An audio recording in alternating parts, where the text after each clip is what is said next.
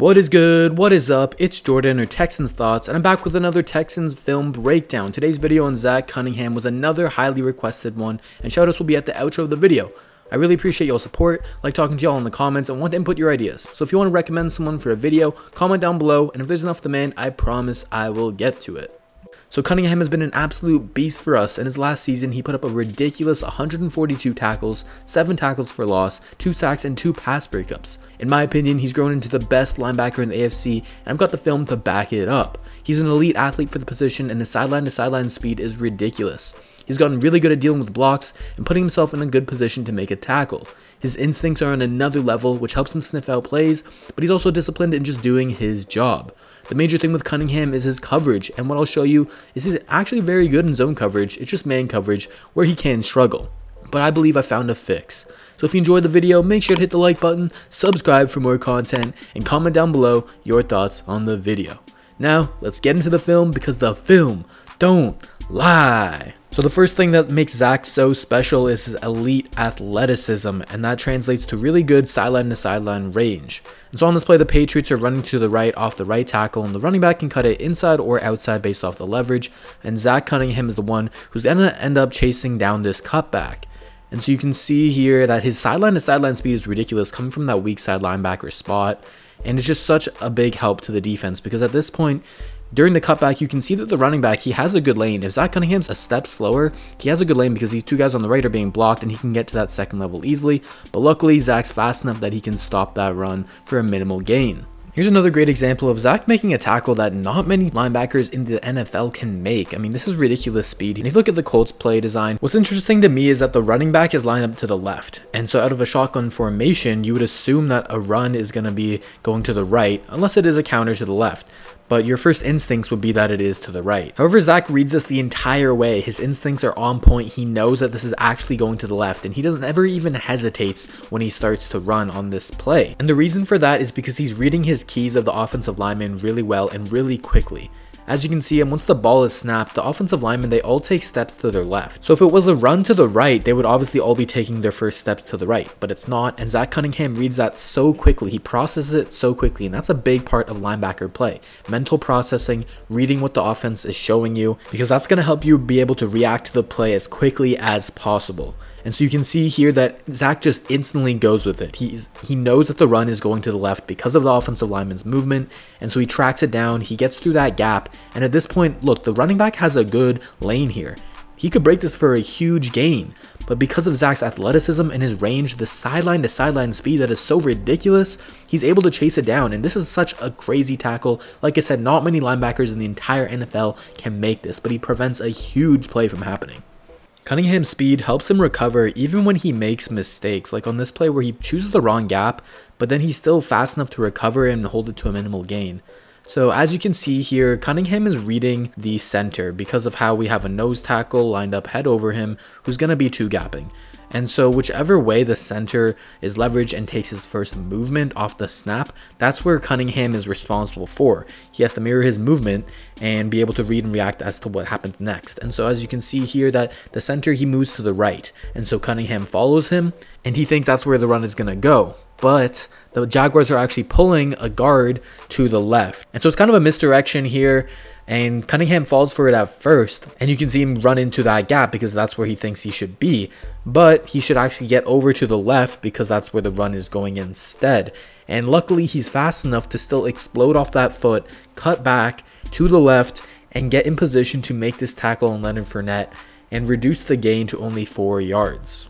Another example here where Cunningham, he takes a false step, but then his range to the sideline, like look here, it doesn't even look like he's trying to run, but he chases down the running back and still gets in on the tackle. And when we look at it from the end zone angle, you can see that he'll he's reading the handoff and he takes a step back because he thinks it's a play action pass, but then once he reads that it's a run, he hauls ass, gets to the sideline and makes a good tackle. His speed is scary, especially if he's coming in unblocked like on this play where he beats Josh Jacobs to the line of scrimmage and gets this tackle for loss. This is such a nice play out of Cunningham. His elite athleticism is crazy. And it even helps him in the passing game where he sniffs out this screen and gets all the way to the sideline to shut it down. I mean, his speed here is just absolutely ridiculous. You can see he goes from the middle of the field on the hash marks and he just flies with this running back and shuts that down. So a lot of those plays came when Cunningham was unblocked, but make no mistake, he's become really good at dealing with blocks. He can either just evade the block entirely or shed it and just be super physical. And the first thing I'm going to show you is his elite ability to evade blocks. So you all probably remember this play against the Bills and they look great. They had got three Bills defenders out here in, in space to block just two Texans defenders. And if that happens, Josh Allen takes us for a first He's in field goal range. The Bills win this game, and Deshaun never has a chance to make his magic. But Cunningham is having none of that. Look at how he just completely makes this tight end whiff on his block. And so the other two aren't focused on him because they've got to get up to other guys. They can tr they're trusting in that tight end to make that block, but Cunningham just completely evades it. He makes a miss, and then he gets the clean tackle on Josh Allen. And this next play is a really good example of how important this can be because you can see that the right guard and right tackle are working a double team here, and the right guard's going to try and get to the second level and block Zach Cunningham, but he's having none of it, and he's just going to swim over that so quickly and just completely shut down this run. His swim move is actually a really nice move. He kind of looks like a pass rusher doing it, to be honest. Look how he just swims over the center Ryan Kelly there, just embarrassing him. You can't block him like that. He's too elusive, and that kind of goes to his athleticism as well. The agility and elusiveness to be able to pull off a move like that, like, it's crazy. And so I'm kind of just going to run through a bunch of these examples where he just completely evades these blocks when they're trying to get to him this, to the second level. And this is so important because run games, great run games, they really do target the second level. If you can block the second level, then obviously you're just making the job easier for running backs. So conversely, if you can avoid these second level blocks as a linebacker and just never have to deal with them, like it's just amazing. Like Zach Cunningham just blows up run plays all the time because of this. And what this does is it makes defensive tackles jobs easier too, because on this play you can see that Brandon Dunn's dealing with a double team here by the center and the right guard, and he doesn't hold it the best. He honestly gets moved out of the way and he allows the center to make it to the next level to block Cunningham. However, Cunningham's so good at dealing with blocks, he sheds this one completely. He's so physical, he gets low, boom, and then he's able to shut down the running back's run lane. His ability to take on contact, not back down, but actually take it on and beat it is just so great to see. He uses his swim move here yet again to get off the center's block and make a nice tackle. I love his physicality and it's something that's improved a lot over his career. His ability to take on these blocks is of a true Mike. I mean, this physicality doesn't come from a lot of weak side linebackers. But because we play such a versatile scheme where he plays 3-4 Mike, 4-3 Will, even a 4-3 Mike as well, he's going to have to be doing these and taking on a lot of blocks because it's just bound to happen. Players are going to get to the second level and get in his face, and he can't back down from that physicality, and he never does, which is I love to see. And the narrative from the media, honestly, and even from Houston media, is that, you know, he's a weak side linebacker, he can't deal with blocks well. That's what I was, like, told, you know, that's the narrative that shaped my mind and my idea of Cunningham over this past season, and it was a worry of mine to be completely honest, because that's what I was told. I hadn't actually seen the film yet, and the film don't lie you can see on the film that he's dealing with these blocks so nice, so physically. He's, he's physical guys. He punches them first. He takes on contact first, whether it's a fullback or a tight end or an offensive lineman. He's creating the contact. He's taking it to them. He's never backing down and wins more often than not. And so my point here is that you can't really trust the mainstream media because they don't watch film like this. They're supposed to be the experts, but you gotta trust your own eyes when you're watching the film or trust me when I tell you about this and show you about it on the film.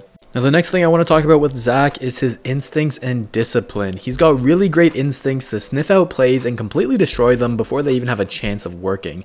And one example of that is here on a screen, where the Chargers, they're going to have this wide receiver motion, and then they're also going to have a play action fake to the running back. So they've got a lot of misdirection going on here, but the actual play is a screen to the left. And so you're going to have these offensive linemen try and get out in space and block to the left, but Zach sniffs it out completely. He stays with the fake and he doesn't leave it. A lot of the times when you see that the play action fake doesn't go to the running back, the linebacker may leave them and go try and guard someone else. But he sticks with his job. That's his job to contain that side. And he sniffs it out. He sees that something's fishy. He sees that there's not an actual pass play going on. And he sticks with it. And then his break on the ball to come downhill that quickly and make a tackle to stop the play. That's just amazing to see. Misdirection just doesn't fool Zach Cunningham. He's always going to be able to sniff out where the play is going. And his high IQ and must be film study, but also just instincts to know where the play is going. I mean, if we look at this one from the end zone view here, we can see that they have a guy in motion. They're going to give this to Alvin Kamara, but then they also have the play action fake to Latavius Murray, the running back. And Cunningham just reads it so quickly. You can see here at this point where he sees he's already starting to go to the left before Drew Brees has even finished the handoff to Latavius Murray. And so he chases it down using his sideline to sideline speed. And you can see here that the cornerback, he helps him, but Cunningham's already cut off this angle. So he's gotten to Kamara and he would have made that tackle regardless. With modern offenses nowadays, they use so much motion, but Cunningham is never fooled. And that's a necessary ability for a linebacker who, as you can see on this play, literally guards sideline to sideline. His ability to outsmart the offense and out execute, getting away from that block and getting, then getting out to the sideline like this, it's just a true weapon. There's plays like these where he just looks ahead of the offense and he gets to their spot before that they're able to. I mean, he gets outside here before Fournette can, and that just completely stuffs this entire play.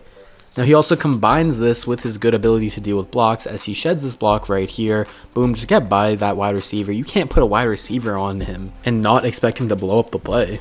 And so having quick instincts like that and beating offenses to their spot by being aggressive is great, but also having discipline and patience is a big part of linebacker play reading the offense in front of you as well as your defensive linemen. And what I mean by this can be easily seen on this play and Zach Cunningham's chemistry with Brandon Dunn, the nose tackle right here. So Dunn is taking on the center and he's two gapping, which is what we ask a lot of our interior defensive linemen to do. And what two gapping means is that you're responsible for both gaps, two gaps. So that would be your right and your left gap. Now in terms of a linebacker, Cunningham's job is more complicated when we run this two gap system because he too has to account for both gaps. He has to see how Brandon Dunn, the center, and the running back are all leveraged based on the play and then pick the appropriate lane to hit and fill. And you can see it with how Brandon Dunn and him react to each other. So at first, the center goes a little bit to the right and so Cunningham follows that. Then, as Dunn keeps working this block, you can see at this point his head is around to the left, and Cunningham therefore goes around to the right, so that they've got both sides covered. Then they end up flipping positions where Dunn is to the right, but the running back is going to the left, but that's okay because Cunningham reads it and goes to the left as well and shuts it down. He's really good at doing this and being consistent with it, just being patient and disciplined and not flying into someone else's gap and just doing his job. If you look on this play, he's got so many opportunities to fly downhill. At this point, he could try and shoot that gap, but that's not his job. Then in another point, he can try and shoot this gap. That's again not his job, or he can go all the way outside, but Mercilus has that. But he's gonna end up hopping around like Le'Veon Bell in the backfield, just patient and waiting for McCaffrey to come to him, and he makes the nice tackle. One more example here, just because the more proof, the better. He's just so good at being patient like this and not making any mistakes. Now my last strength I'm gonna talk about for Cunningham is actually his zone coverage. Now I know his reputation is to be a pretty bad coverage linebacker, and we'll get to his man coverage, but his zone coverage in particular is great. Now, but don't take my word for it, let me show you with the film. And so here they're going to be in cover 4, where Zach Cunningham is responsible for the middle of the field in this hook zone. And this tight end is going to run a little curl route and try and get in there and get a catch. And Matt Ryan's going to throw it to him right now. But Zach Cunningham's really quick to plant on his back foot, explode forward, and get this pass breakup. Now in this play, the Texans are going to be in a bit of a cover 6 blitz. It's cover 6 because you can see the two top defenders, they're in their own quarter zones. And then this guy at the bottom here, Roby, he's going to be responsible for half the field. And then you're going to have that safety here who's creeping down. He's going to be on the blitz. But the main part of this that we're going to be looking at is Zach Cunningham and how he's in this hook zone. Now the Jaguars, they're in a good scheme to beat this coverage because you're going to see that this post curl route combination right here, it's designed to put Cunningham into a conflict of assignment. Because if he tries to guard this curl route underneath, then the post is going to hit him over top. But if he tries to go get too much depth for the post, then the curl should be open underneath. So you can see how he really has to make a decision here, and he makes the right decision of gaining depth and allowing someone else to pick up the, the shorter route. So you can see that he flips his hips here like a cornerback, it looks like, and just does a really good job to take away this post route. Minshew can't even look at it. He knows that it's not going to be covered because of how great Cunningham did in getting depth and taking that away completely. And so he's forced into taking the check down to the running back. This is just great, great coverage out of Zach Cunningham. It's one thing to be able to stick in your hook zone and kind of just stop a, a tight end like on the previous play, but I think this is even better. Even though he doesn't get a pass breakup here, he doesn't even get targeted, he shuts this down, which it could have been a, a touchdown because if you look at how the post was being run, there's a gap there. There's a gap right in between, right past the linebackers and before the safety where they could have had a touchdown for sure. But Zach Cunningham, with his size, his athleticism, he's able to sniff that out and shut it down. The main issue most linebackers have in coverage is getting beaten over top. But Cunningham is just so good at getting depth and then reading the receivers around him and being able to attack quickly and take away throws. He does a really good job of reading Philip Rivers' eyes right here you can see as the ball is snapped and he takes back in his drop, he looks goes right at first, then as Philip Rivers looks left, boom, he goes left as well. And if that throw was on target, he would have broken it up. So this is some next level coverage by Cunningham. The Texans are in a Tampa 2, and the Jaguars have dialed up a good concept to put Cunningham in a conflict of assignment. They have this shallow crossing route and then this deep dig behind to directly try and attack Cunningham, but he's having none of it. And at first you can see that he comes downhill to stop this shallow crossing route, but he realizes that there's going to be more to it. And so then he backs up and takes away that dig behind him. You can see how they was going to be coming into open space, but Cunningham cuts it off by getting good depth. And then so they're forced to take the check down underneath. So I've got more examples of great zone coverage, but I'm to go through them a bit quicker just so that this video isn't like 20 minutes long. On these ones, it's just more of Zach having great awareness and getting really good depth. He's able to carry his zone so far here, following the tight end up the seam, and look, it's a completely covered throw even if it was accurate. Now in this one in an underneath hook zone, he just reads Matt Ryan's eyes really quickly, breaks on the ball, and is able to help break up this slant with J-Joe on Julio Jones. You can really see it nicely from this end zone angle, how as soon as he sees Matt Ryan looking to the right there, he just boom, he's going, and then he helps break it up at the catch point. Now another great one here where at this point, it looks like Julio Jones is going to come open on the post, but Cunningham gets back, gets good depth yet again, and helps out, forcing the scramble. Now when we're here where he stops the post. I mean, just this is crazy depth for a linebacker to get. He moves so quickly. His athleticism really helps him here, and it's just such an amazing thing to see in zone coverage. Now, no player is perfect, and Cunningham's coverage is definitely far from perfect. I showed how his zone coverage was great, and as good as his zone coverage is, his man coverage is pretty much just as bad. And so you can see here that one big thing, one big flaw is that he comes downhill too aggressively and then he out leverages himself. He's going to the outside already here, so of course Kamara's going to take it inside. And it's just those split steps, those small steps that make all the difference. Same thing here against the Chiefs and man coverage with the running back. And he's just he's just way too aggressive on these. He comes downhill too much. He gets too jumpy and excited and boom, he just he lets the running back go right by him because he's too aggressive in going downhill. There's no reason going downhill that quickly. You can see here at this point that look, his he exposed his outside foot as his top foot, and so they're gonna out leverage you and then attack the other way, and that's exactly what happens here, and that's exactly how he gets beat. Now the thing about that is he's shown good ability to give himself enough space and not be that aggressive. Like on this one here where he's given enough space. Look at that.